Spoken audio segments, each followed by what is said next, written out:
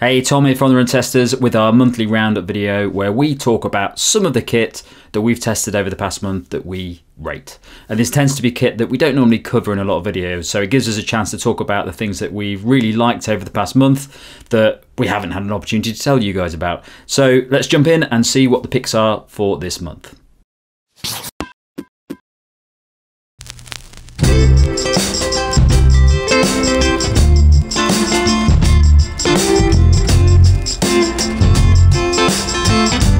So my first piece of kit that I want to flag up this month is uh, compression boots uh, and, and, specifically the Therabody uh, Recovery Air Jet boots. Now compression boots are essentially just you know long sleeves that fit over your legs and they fill with air to give you like a little massage and it's you know done in a very scientific way to basically promote recovery in between hard runs. And I've been a bit of a skeptic about these because they're very expensive uh, but I've been writing a feature for one of the places I work for this month and I tried out a few of the boots and to be honest yeah I've really enjoyed using them. It's uh, They are very expensive but they do seem to work like so I've been marathon training lately, doing more mileage than usual, lots of hard runs, and using these boots in between them has really kind of helped me recover. And sometimes it's actually pretty amazing how much better your legs feel after using them. Uh, so the Therabody are the ones I prefer out of the you know the various sets I've tested, mainly because they are completely wireless, so they're very portable. You don't have to connect them up to something to drive the kind of compression. Um, they've got a 240 minute battery life, so that's very handy. There's a console on each boot, so you can adjust the pressure and the um, time you want to have the massage for. So it's all very convenient, very easy to use. Just slip them on. They also pair with a partner app, but I've not bothered to use that very much at all. So yeah, they're obviously absurdly expensive. They're £799 or $899. So, and it's not at all a necessary thing to have in your life as a runner.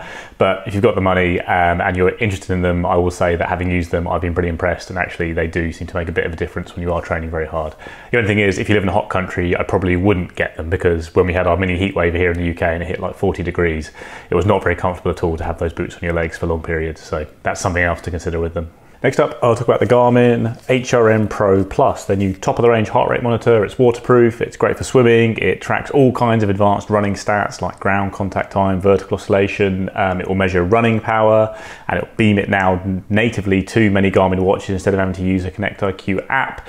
And it also has a couple of new uh, metrics that weren't on the original Garmin HRM Pro, which is running pace and distance if you're running indoors. On the software side of things, you're going to get all of that on the existing Garmin HRM Pro. So there's no real software upgrade with the new heart rate monitor here. But there is a very notable hardware upgrade, which is on the previous version, the HRM Pro, to, to change the battery, you had to unscrew it. Uh, there's little screws, four little screws, which was a massive faff because you know finding a screwdriver of that size was never easy for me. Um, and also, it was quite easy to damage the battery port on the HRM Pro. And eventually, I did after two battery changes. Mine kind of stopped working.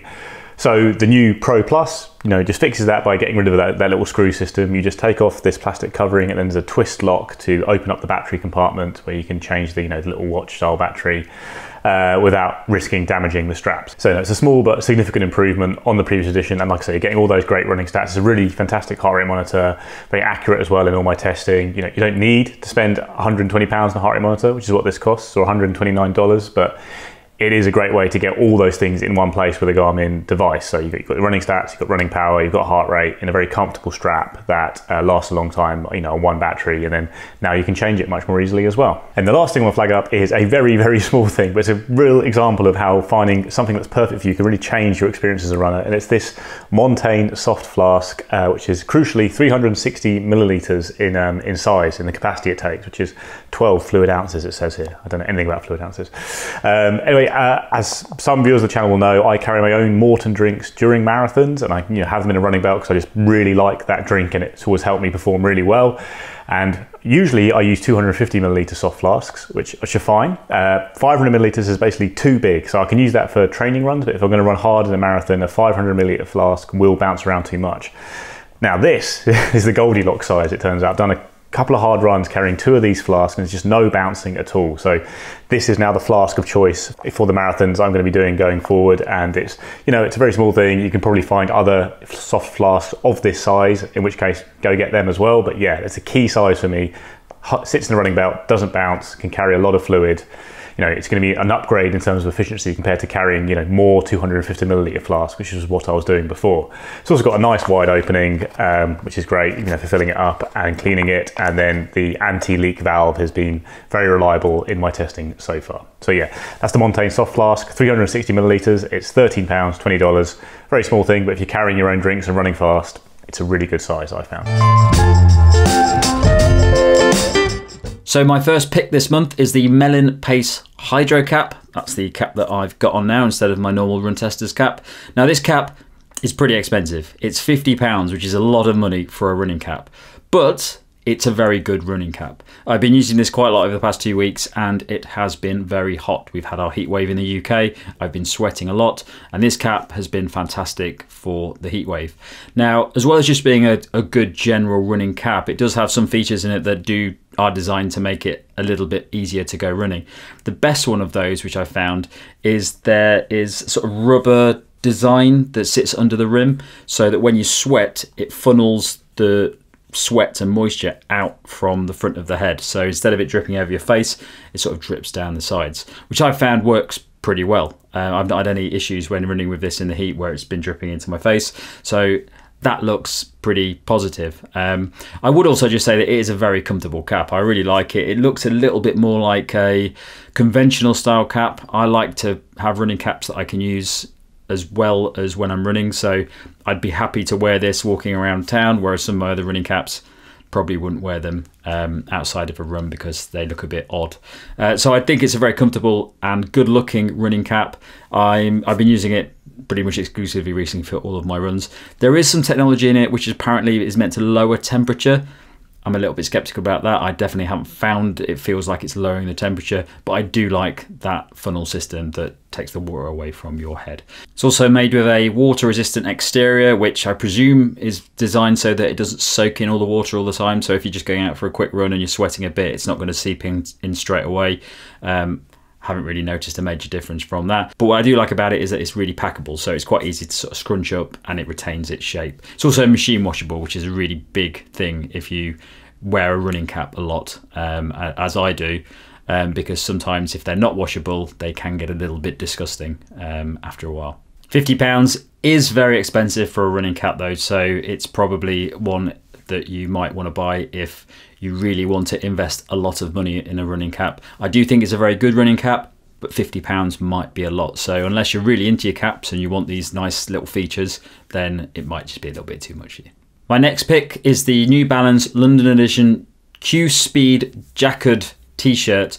Now, New Balance, I'd probably say New Balance make my favourite t-shirts in running because mainly because of the fit. So I'm quite heavy up top, um, and what I like with a, a, a t-shirt is something that's a little bit tighter over the arms and the shoulders and the chest but gives me a little bit more of a relaxed feel around the midriff and i always find with new balance t-shirts that that's sort of where they're designed i do get uh, a lot of t-shirts that i try out that are either really tight all over or they're really baggy. I don't really like either of those. I think the fit with New Balance works really well for somebody with my body type. Um, but the other thing about this t-shirt is that it's really breathable. So um, it's got a lot of perforated holes all the way through it. I've used this for some speed sessions this week and some interval sessions, and I've just found it to be a really comfortable top. The material is quite loose and light, it's quite soft against the skin, which you don't often get with performance t shirts. Um, but those perforations as well seem to make the airflow work quite well. It's still very hot in the UK now, and I'm more than happy to wear this top, even though it's black. I don't know wear black tops when it's when it's sunny out, but um, I'm very much enjoying this t-shirt. And I just think with New Balance, I've got New Balance t-shirts that I've had for years, and they still fit me perfectly. They never sort of lose their shape over time, and I like the understated black colorway, whereas Mike might like something that's multicolored. Um, but I prefer something black and something a little bit more subtle. But I really like this t-shirt. I think it fits perfectly and um, just feels really nice. Okay, so my third pick this month, uh, I've been doing a lot of sunglasses testing recently, and this is one of the, the sunglasses that stood out for me. This is the uh, Bollé Icarus um, well, they're not actually running sunglasses, they're multi sport sunglasses, but I've been using them for running, obviously, and they've been absolutely fantastic. I'm not really a big fan, or I wasn't a big fan of visor type sunglasses. I normally like to wear Wayfarer types that I can use to go to the pub in and stuff like that. But these ones are, they're just fit the head really nicely. They're very comfortable. They've got this thermo grip um, covering on the arms, uh, and I've had no issues with slippage or them falling down my face or anything like that. Like that. And also, they look quite nice as well. They're um, as visors go, they're a little bit more subtle than some of the ones that I've seen Nick wearing. The other thing about these glasses as well is they come in different lens versions, uh, with the cheapest coming in at 115 pounds. So that version is just sort of standard sunglasses that give you UV protection, but you also get other versions as well. So there is a, a Volt Plus polarized version. That's these ones, and that gives you. I have to read my notes here. 30% uh, color enhancement, so you've got a better vision of what you're looking at, more depth perception, um, and uh, high performance polarization. Now, I don't entirely know what all of those things mean, but what I have found with these glasses is that in comparison to some of the other sunglasses I wear, where the, your vision sort of changes a bit when wearing them and it doesn't quite feel right. I've not noticed it with these. I, have not minded running in these in the sun and the heat. So they're a bit of a thumbs up for me for that. There's also another version as well, which is the Phantom version. Now the Phantom version has photochromic lenses, um, better clarity, uh, optical clarity, uh, anti-fog, uh, and a high impact resistance for the frames. So, uh, that, but that goes up to about 185 pounds for those ones. These ones are 165 pounds. So all in all, just a solid pair of great shades for running in that don't cause any problems. I also uh, if I did a search online, and you can find these quite a lot cheaper. So they're 115 pounds on the Bolle site, but I think if you look at places like Wiggle, you can find them considerably cheaper. Um, but I think they're a great option if you just want some solid good sunglasses um, that stay on your head when you're running. Hi runners, I'm Laura and these are my two picks for July. Now one relevant to every runner I think, one not so much, quite a niche product but bear with me. So first up, a pair of socks. Uh, these are Balega Enduro women's running socks, no show. Um, and they're really nice. Now, I have been a bit swayed by this because I am usually a cheap socks person. I will buy multi-packs of um, very cheap socks and don't tend to have many issues. But I've put these on um, for running for a few weeks now and I will root through uh, the drawer to find these specifically if they are clean because they just feel really nice. They The material's nice and thick, um, which even though it's been very hot, hasn't hasn't made my feet hot and sweaty. Um, they feel nice. Just putting them on on your feet and walking around, you're like, oh, this is this is nice. So if you're a runner that likes a like a bit of comfort, if you like um, cushioned running shoes, things like that, a bit of a plush feel, then um, I do think if you've got the if you've got the extra bit of cash to, to spend, then that's a good one. Uh, I think good socks are a nice present, you know, people that you don't necessarily know what to get, get them a nice pair of socks. So these are £14. Yeah, obviously not, not, not cheap, but they are nice. Um, they are a women's specific fit. Now we've seen this a bit with shoes this year. That's very much um, a trend with Lululemon, Adidas, Under Armour, bringing out those women specific shoes, going back to, oh, can we look at women's um, foot shape and how that's different and deliver something specifically for them. We've got it in socks too. So I can't tell you much about whether they are more suited to my foot than a gender neutral sock, but they fit nicely and they feel very nice. Second up, bit more niche.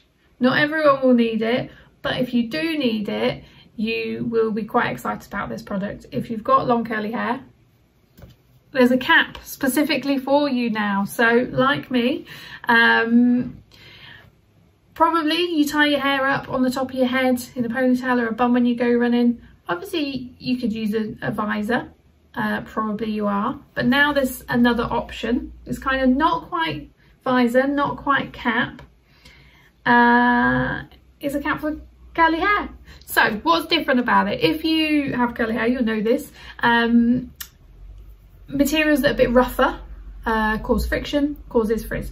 So you might put your hair up in like a satin wrap to go to sleep at night. You might have a satin pillowcase to reduce frizz.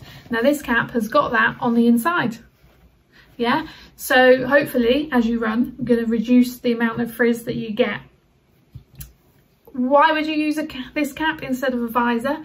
I know that when I run in the visor, if it's particularly humid or drizzly or anything like that, the front bit of your head is quite visible. So this bit kind of frizzes up quite, quite dramatically um, on my head anyway. So although not necessarily that bothered about it, um, here, obviously that bit's covered. So there you go, but you've got a nice amount of space at the back for your ponytail or however you choose to wear your hair up. Uh, it's £16, which I think is pretty reasonable for a, a cap or um, visor. The good thing about it is that it doesn't scream uh, running cap because it's not not necessarily just a running cap. Um, you can run in it, I've run in it, but it's something that you can use every day as well. I quite like the um, the non-running feel to it. There you go, little tiny bit of branding. This is OC for Only Curls, which is the brand behind it. They mainly make um, shampoos and products like that, but they pulled out the cap. So, work for me. Um, obviously you've got that bit of coverage so when it is really hot you don't get the same ventilation um, as you might do if you had a full-on visor. Um, but for general running running in winter running uh, in kind of drizzle or milder days I think it's a, a good a good option so that's it from us this month in the monthly roundup. Thanks a lot for watching. Don't forget to like and subscribe and click the little bell icon. And don't forget to check out the new podcast that we have. Our monthly podcast comes out at the end of every month. If you go down to the caption below, you can find the link to listen to this month's podcast. And don't forget to give us a follow on the podcast provider that you use. Thanks a lot for watching, and we'll see you next time.